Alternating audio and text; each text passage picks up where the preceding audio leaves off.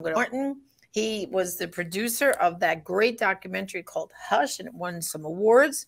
But the other person that's joining me today is a very dear friend of mine, uh, Abby Johnson, as you know, who had worked uh, in Planned Parenthood, came out of the industry. Uh, of course, she and I and Father Pavone have been friends for a long time, but she also was in that wonderful, wonderful movie Unplanned and wrote that book and has done so much to continue to speak so strong all over the country about making abortion unthinkable. Ah, unthinkable. And guess what? That is the topic of today's program making abortion unthinkable. So, Abby and Drew, welcome to my program. Thank you so much, Janet. Thanks, Janet. Well, of course, the expression of you know making abortion unthinkable has been on my lips for a very, very long time. Uh, people had always said to me, "Come on, Janet, don't you get discouraged? You get up every day." I've been doing this for thirty years, guys, so you know, a long time. Yeah. But I said, no, it's about making it unthinkable, changing hearts and minds that no matter what the laws are, people don't want to buy the product. They don't want to use it. They don't want to do abortions. No more. They don't want to do them. They don't want to have them. Look, you know, I think back of like cigarette smoking, right? When I was a kid growing up, it was cool to smoke. Now everyone looks down on it. Right. That's my goal to make abortion just like cigarette smoking. Blech. Who wants right. it? So tell me now. Um, first of all, Drew, uh, my audience maybe doesn't know you as much. I loved Hush, but tell, give us a little bit your background. So I was born and raised here in Edmonton, Alberta, in Canada, and uh, yeah, my mom prayed me into relationship with Jesus like when she was before I was born. So she she said she was uh, barren for like ten years. She said, "If you give me a son, he'll be yours."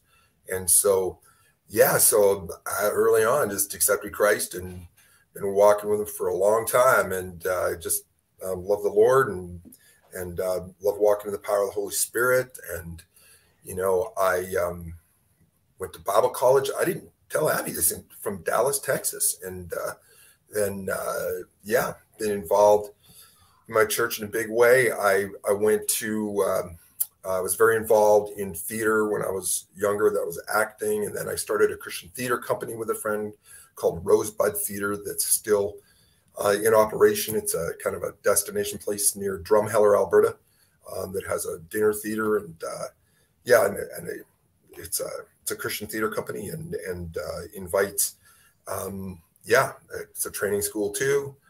And then uh, yeah, I went to university, took lots of drama there. Went to uh, radio and television arts in uh, Edmonton and before I was finished there, I was offered a job at a major television station.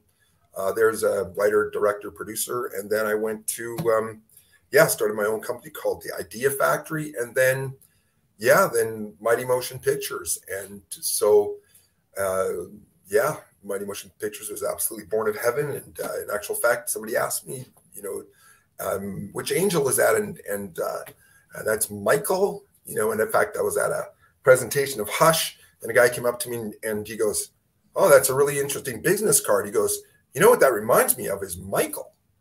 And he says, You know who Michael is, don't you? And I said, Well, he's an archangel. And he goes, Well, it's more than that. And he goes, You know, he casts the devil into hell. And I was like, Wow.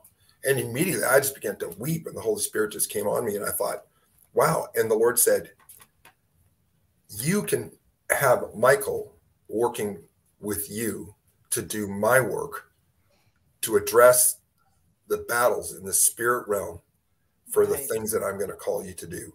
And That's not right. only just with Hush, but I believe that absolutely the spirit of death that we're really coming forth in really the word Lord's heart, speaking truth in love um, with the projects that we're working on, of course, like Unthinkable.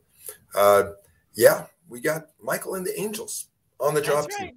So okay, so now both of you, I want to know who who came up with the idea of this movie unthinkable first or how did you guys connect and you know come on Abby like how did it come about yeah so actually i we were at a healing retreat for and then there were none and we were talking about this documentary series that had come out that was exposing scientology. And a bunch of us had watched it and it was it was really good. And we were talking about how um there were a lot of similarities that we were finding. Like I, I remember watching it and thinking, oh my gosh, yes, that was exactly how it was the brainwashing, the cult like mentality. Um, you know, you leave and, right. you, and you get sued because they're trying to keep you quiet. So they take you to court. Um, right trying to separate you from family and friends, right? Like these are all these are your only friends, right? The people you work with at the clinic. And I just thought, oh my gosh, this is crazy, right? It is like a cult working in right. in the abortion industry. And so we were all just kind of talking about it. And we were like, gosh, we should do a documentary similar and really expose what's going on in in the abortion industry kind of this similar cult like mentality and so i was like you know we really should so I went up to Canada. I don't get to go up there very often, but I went up to Canada and I had forgotten this. Drew just reminded me. I went up to Canada and spoke in Edmonton, uh, where Drew lives. And uh, he actually came up to me and I think gave me a, a copy of Hush. I had already seen Hush. Uh, I loved it. I was a fan. And uh, he told me at that time that the Lord had had told him that we were supposed to do a documentary together. And funny enough, I wanted to do a documentary. I just been talking about it. And uh, I said, you know what? I think you're right. I think we should do a documentary together. And so we just kind of started working on it. We started communicating back and forth and uh, started getting the ball rolling. And I already knew that I wanted to call it Unthinkable and um because that's really the goal right? Like you said janet that's, that's right. the goal. Right. Yeah and people don't want to have abortions anymore you know? That's right. So so unthinkable so everyone understands it's in production right now. You're probably wrapping up the last few interviews right? And the timeline will be by the end of june you'll go into editing right? And we're hoping hoping by uh, the fall to have it out in theaters and eventually i guess streaming correct? Yeah that's right Okay. So the idea of unthinkable then is really exposing, like what, what Abby is saying, um, basically the evil of the abortion industry. We know, I know by my decades of dealing with it, that uh, it, it is a spiritual battle between life and death. Mm-hmm. It's it is a cult, like Abby just alluded to. Uh, they, they have their own way of kind of keeping people entrapped, so to speak, into that culture. Even the way they deal, Abby, wouldn't you say, with the women? You know, if you have if you mm-hmm. go to Planned Parenthood or any abortion clinic, and um, first of all, if you have a problem, you don't go back there. They send you off right. to the emergency room. They don't want to even admit that there are any problems after abortion, right, uh, Abby? Yeah, that's right. And you know, it's interesting, Janet, because when I okay, so I remember when I worked at the clinic, and I remember hearing people on the sidewalk say things about women regretting their abortion.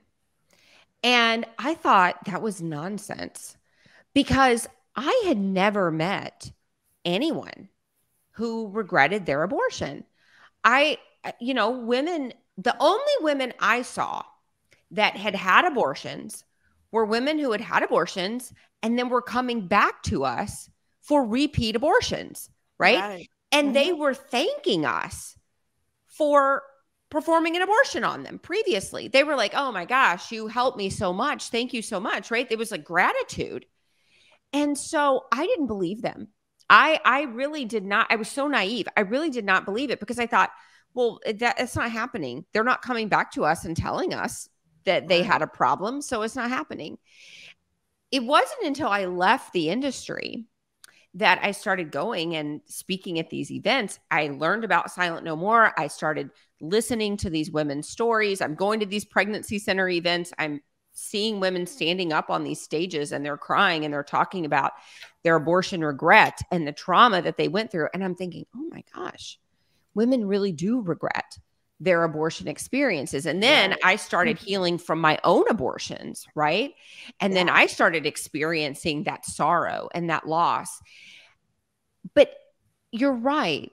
Women who have abortions, women who have been traumatized by that industry, they're not going to go back to the scene of the place where they were harmed right? right? They're right. going to reach out to a pregnancy center or they're going to reach out to an organization that can provide them healing. They're not going to go back to their abuser. Um, right. They're going to go, they're going to reach out to someone who can actually help them heal. Right.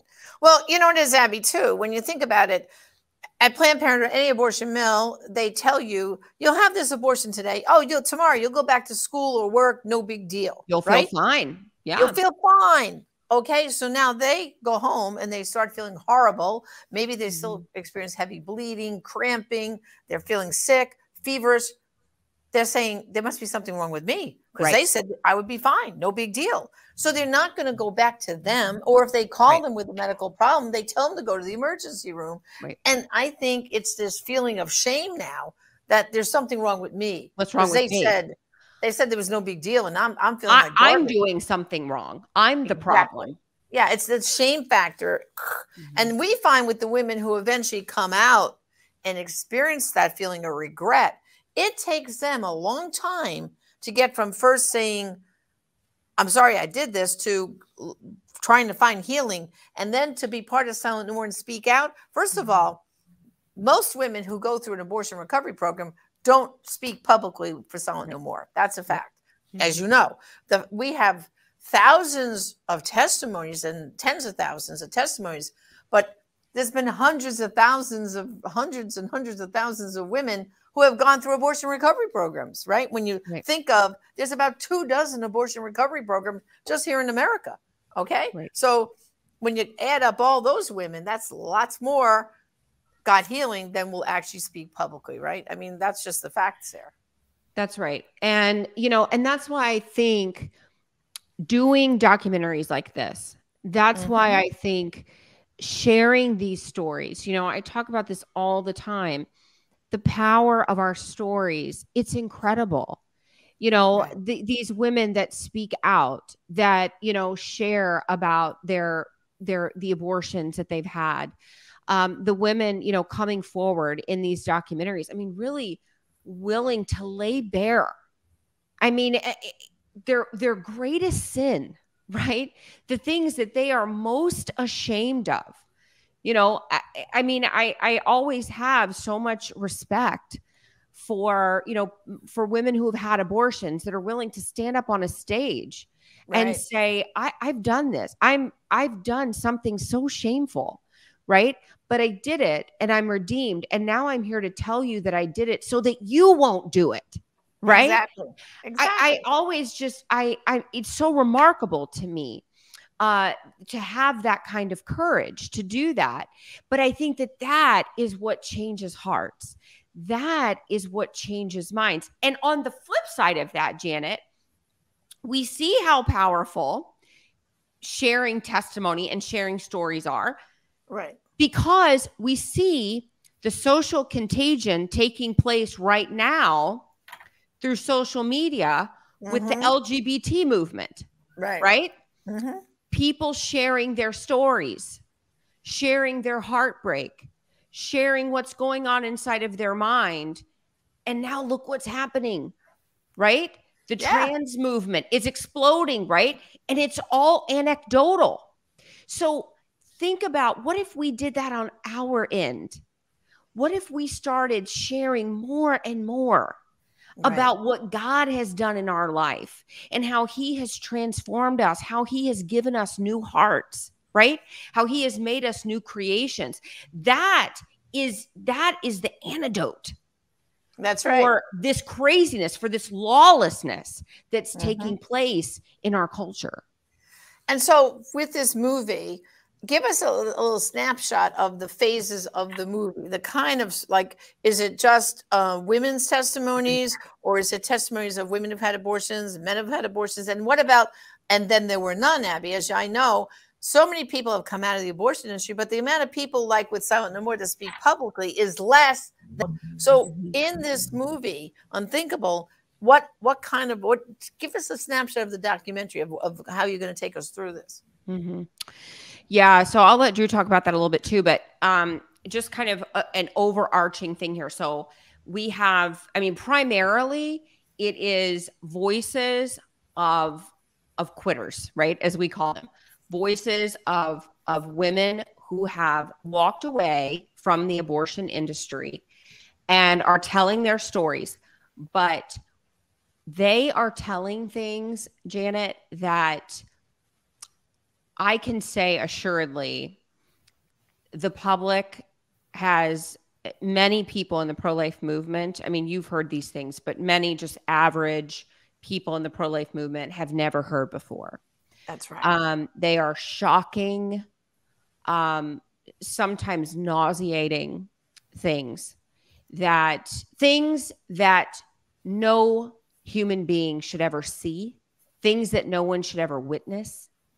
Um, that is is what they're sharing. And they're not sharing it as like a one-off. Like oh yeah well this happened in my clinic but it, it didn't happen anywhere else right? And that's really that's really my exploration in this documentary is okay you know unplanned came out and people in the pro-abortion movement said all right well that's what happened at her clinic right. right that's what happened at her facility but that it's not what happens everywhere right? That was just a one-time thing. It was just right. one bad facility right? right. So that's really my question as i kind of seek an answer here.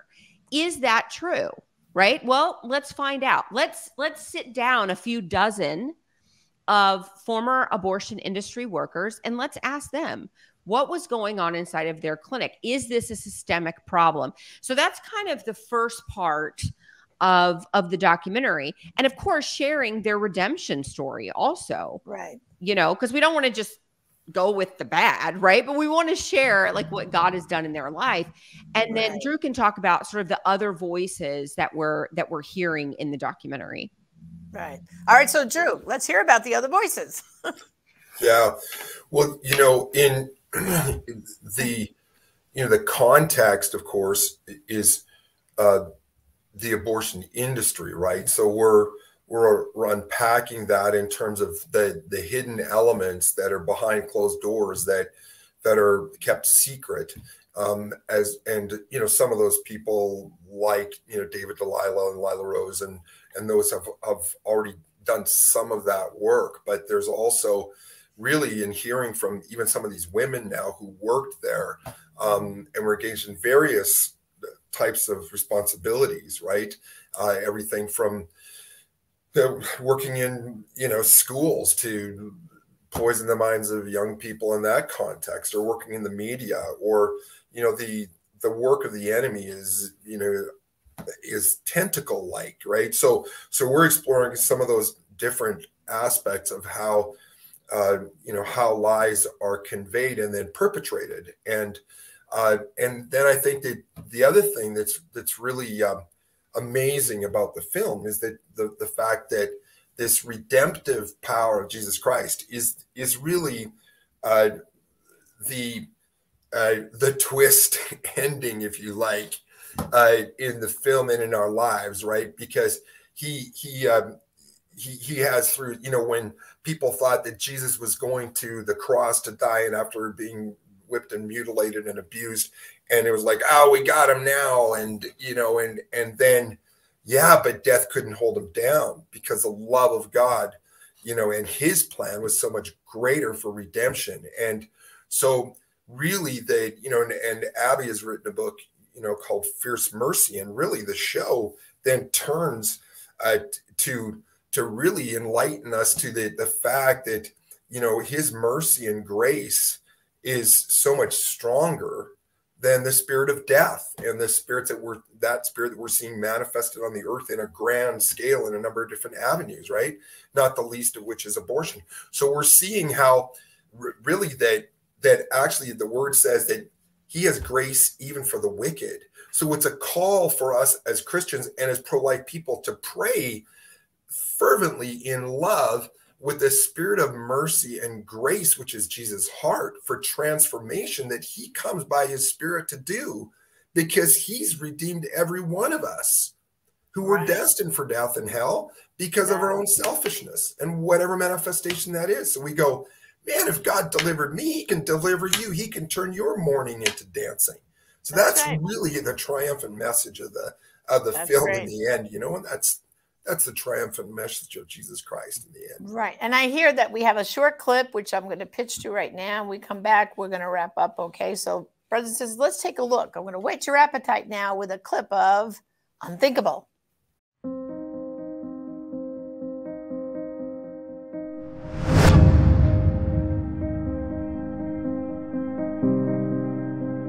Our fight is not with the doctors. Our fight is not with the people in the industry, and it's certainly not with the ladies that have procured an abortion. Our fight is with the spirit of death. I want to do a documentary about the abortion industry. It was like a cult and the brainwashing that happens, and and like when you leave, they sue you. We had one woman that she tried to flush her own baby down the toilet, and its head got stuck.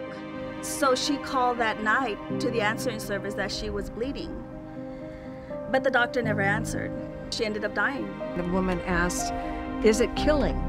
And the clinic director, she said, Oh, if you, if you think killing a fly is killing, everything about it is dehumanizing. Time is money in the abortion industry. We did not want a woman on the table longer than five minutes. We took videos at the beginning of clinic, and we would play music, and the doctor would come in and dance to the Rocky theme. Like, wow. we're, we're going to get this done today.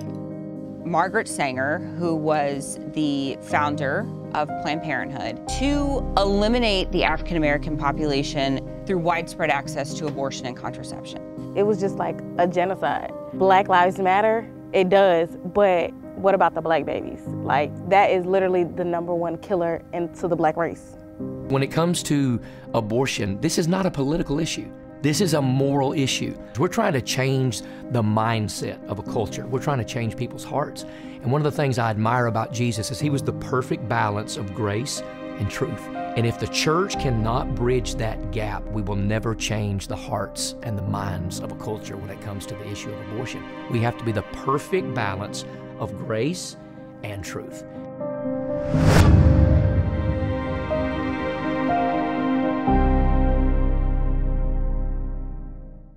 Well, guys, I just can't wait to see that whole documentary. I mean, that was awesome. And I want people to know how they can get excited about this documentary because we need help, right? What you're telling me, I think. I'm sure we need funds still to finish all the editing and wrap this up and get the promotion out to theaters. So mm-hmm. they have a website to go to, right? Would be unthinkable.com am i correct? it's, it's unthinkable doc so unthinkable doc ah. dot com so unthinkable, oh, oh, doc, dot com and okay. uh, yes we we are always looking for investors uh, you know, we, we are not getting those uh, government millions like Planned Parenthood. So exactly, uh, yeah. So we we are always looking for investors. We would we would love to talk to you about investing, and uh, you can contact us there at the website, or if you want to talk about investing directly, you can uh, email me at Abby A B B Y at abbyjohnson.org, and I would love to talk with you. Terrific, terrific. Well, guys, I am going to be praying and spreading the word about this documentary and and to hope that we get lots of investors and then when it's time to roll it out, count on me to be a loud voice to promote this documentary. So thank you for joining me. Thank you so much, Janet. Thanks, Jenny. Okay. Well, brothers and sisters, it's up to you now. I want to really tell you go to that unthinkabledoc.com website. Uh, any small donation would be appreciated okay? Because if i get 100 people right now each to give maybe 25 50 or 100 dollars see what i'm saying? Each donation will count because you can then be part of this exciting documentary. That's what we need you to do. And you know brothers and sisters in order to you know make abortion unthinkable in our nation guess what? It's that the fact that there are some abortions only you will be able to stop some lives only you will be able to save, and therefore there are some ways only you will be able to help make abortion unthinkable. Thank you for joining us. Until next time, I'm Janet Morana.